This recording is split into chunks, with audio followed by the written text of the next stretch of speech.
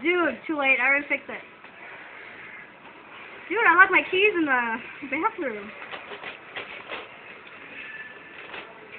Yeah, well, I didn't know that. I was about to climb over, and then Ian told me. I was like, oh, good thing for clarity over here. I started freaking out. Hey, we got the Scribblenauts rooster hat. I took a picture of it. That looks awesome. Alright, I'll see you. Alright, bye, bitch.